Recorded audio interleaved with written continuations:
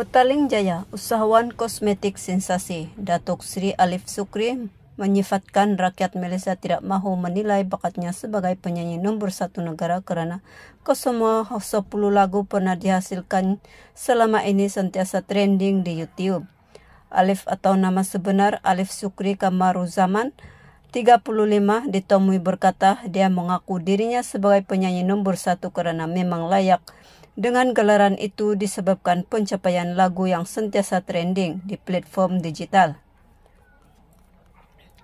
Walaupun pelbagai kencaman yang saya terima, tapi sehingga kini kira-kira 10 buah lagu yang sudah saya hasilkan semuanya trending nombor satu di YouTube dan tidak pernah berada di kedudukan kedua atau tiga.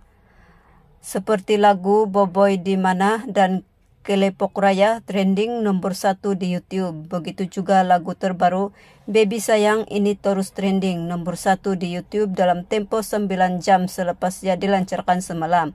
Sekalipun ramai netizen kata suara saya macam itik tidak boleh menyanyi, tapi lagu saya tetap trending, katanya kepada Harian Metro.